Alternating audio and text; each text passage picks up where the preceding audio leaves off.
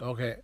There were two boys in Enniscorthy, and as you were driving down through Enniscorthy, down past Lidl and Aldi, down past the play park where the man on the bike is there, another statue of the man on the bike. Mm-hmm.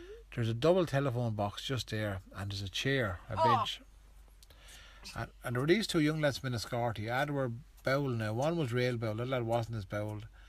But the fellow was bowled was always getting the lad in trouble. So he used to always do tricks like he'd always go onto the phone box and he'd phone the fire brigade and say there was a fire in say Lidl and the fire brigade would buzz up the road up to Lidl and should have been no fire. And he'd also phone the fire brigade and say there was a man up top of the street up outside the Aldi with a gun and the guards would go up and should be no one up there. And they used to sit off and watch the guards and the fire brigade buzz up and down the road. So they were doing that kind of tricks they were always playing in the phone box, always messing. So one day they were bored, the man was bored. This is uh, tell you what, doing something else for me. And the fella says, What? Says, Next van that comes along, right, you jump out in front of it and see how, see how far he um, when he stands on the brake, see how close he can get to you. And the man goes, No, that's dangerous. He says, No, do it, do it. You're only an old pussy if you don't do it. The man goes, All right, okay, I'll do it. Now, the, the one fellow was real bossy and he made the other fellow do it. So, here wasn't their van coming down the road, lads, right? And there were these uh, travellers from Drumgoold and they were driving along and they were all talking. They were horsing breakfast rolls into them in the middle of the day, eating it. And the fella jumps out in front of the van and sure, the boys were too busy eating sausage and rashers and talking and they didn't see a man and he bumped into him, Crashed into him like that. knocked him down. Your man fell on the ground, Oh my god. dead, and the, The man in the car. and the van went over him. Um, oh my god. The- Open the- that- yeah, right, listen, that was Daddy down there. Daddy, daddy, daddy. So the guards and the ambulance and all came and he arrested the other bold fella. Said I didn't, didn't mean to do it. I didn't. I only asked him.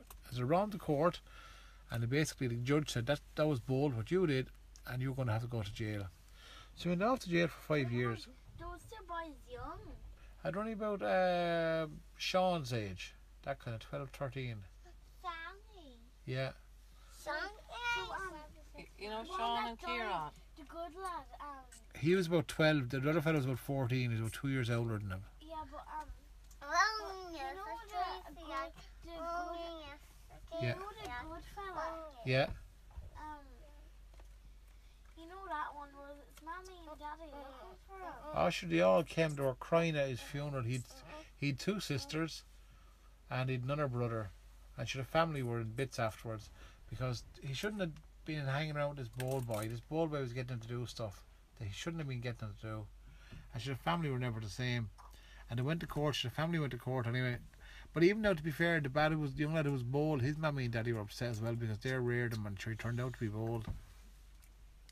And uh, the young fellow went to jail, and he went to jail for five years, and he was about How was the size? f- all your fingers on one hand and a thumb.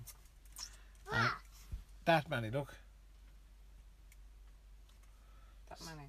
So Got I know. yeah, so it was a lot of birthdays. So he came out, and he walked. He got out. He got the train out in Enniscorthy after being in jail in Dublin, and he walked up to the place up where he used to hang out as a teenager, a young lad, and the town had changed slightly, and everything felt a bit different. And he sat down in a chair, and he kind of mm. He thought to himself. He said, he said lads, he said, uh, I can't hear. yeah, listen. Yeah, I'm making it. I'm making it.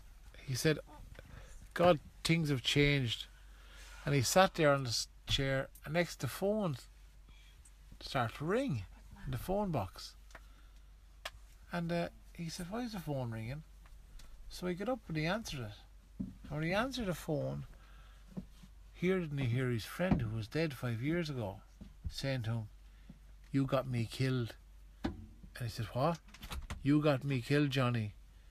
I says, Shawnee, how can you be talking? You're dead. I'm not dead. I said, I've come to get you back. I says, what do you mean?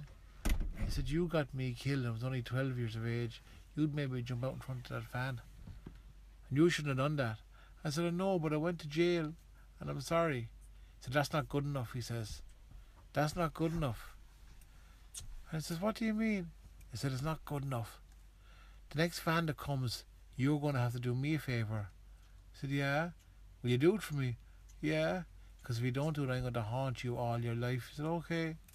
He said, next van that comes along, I want you to jump out in front of it and see will it stop. And he says, What happens if it don't stop? He said, Well, tough. Horror, he says. Hangs up the phone and coming down the road there's a white van. And the white van was about six o'clock in the evening and the boys were just at their, their group of young Romanian lads after picking strawberries and raspberries out in Jimmy Cairns and they were foot to the floor, they were going rock hard, wanting to get back into town and the man jumped out and the boys were talking and listening to loud music and they didn't see him and next minute they ploughed into him killed him stone dead. And they all say if you go he killed him stone dead. Yeah and they say if you walk past that telephone box on the days that them two young boys died sometimes the phone will ring and when you pick it up it's actually the two boys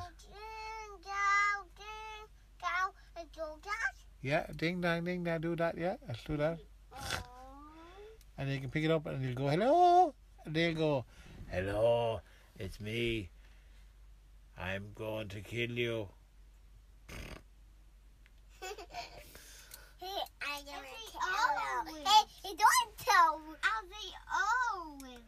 Yeah, they're old now. That's the end of that story, lads. Oh, the end. Good night, Nan. Night, night, Nan. Smelly, and Nan. Night, night, smelly Nan toes.